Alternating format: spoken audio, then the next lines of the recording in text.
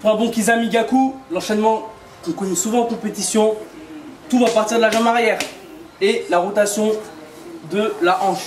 Vous voyez Donc ici, mon Kizami,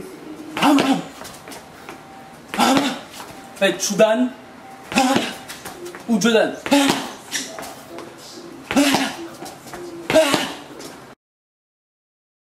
Pour le bon Kizamigaku, on va partir d'ici. Donc ça va être là. Souvent, on va partir de très loin. Pourquoi je dis très loin Justement pour apprendre à travailler cette détente. Donc ici, je décompose.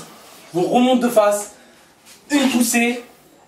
Et après, la deuxième jambe, boum. Vient, le pied d'appui qui vient tourner. Bam, bam. Donc voilà. On va essayer de gratter de la distance au maximum. Donc on est là. Bam, bam. On recule.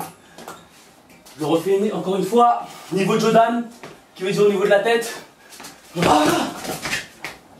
Et après, au niveau du corps. Je refais. Ah